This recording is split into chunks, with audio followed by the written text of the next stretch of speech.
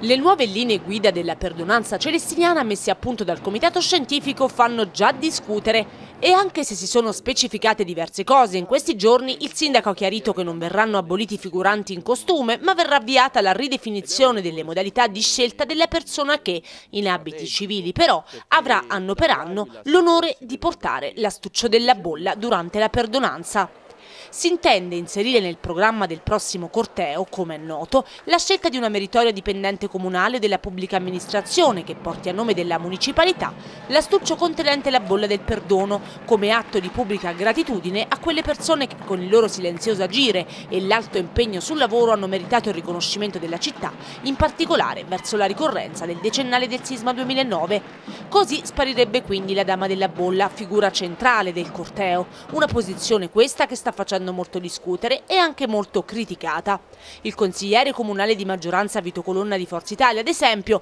ha voluto chiarire come sia possibile rimanere fedeli alla tradizione pur rinnovando le modalità con cui essa si trasmette alle generazioni future, invitando così a preservare la Dama della Bolla in costume. È vero, dice Colonna, la Dama non è mai vissuta realmente, è stata introdotta solo da pochi decenni, però è divenuta simbolo della città, una figura sospesa tra storia e fantasia certamente, ma in grado di coniugare perfettamente il valore della tradizione con quello del rinnovato ruolo della donna nella società, un'alterazione dell'ortodossia storica del tutto accettabile, non pacchiana. Abolire tale figura, secondo Colonna, se da una parte renderebbe il corteo storico filologicamente più corretto, dall'altra spaccherebbe di fatto le anime che hanno mantenuta fin qui viva la fiamma della tradizione.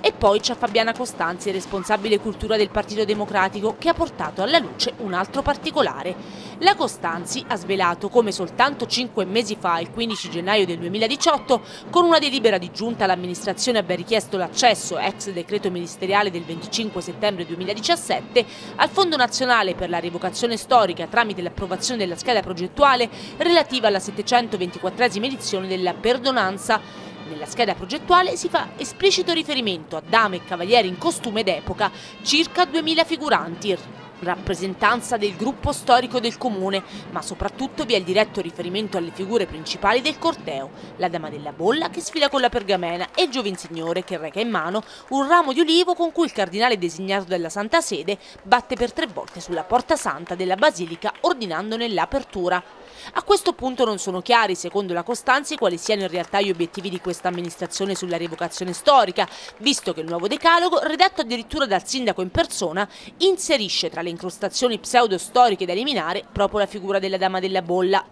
se per la richiesta di fondi per la perdonanza fatta al Ministero è stata allegata una relazione che comprende questa figura come quella di maggior rilievo, sorge il ragionevole dubbio che anche la relazione fornita all'UNESCO per la candidatura della perdonanza bene materiale dell'umanità comprenda, se non addirittura i punti, sulla figura della Dama della Bolla. Questa amministrazione dunque ha mentito al Ministero o forse addirittura al Comitato UNESCO, si chiede provocariamente la responsabile cultura del PD?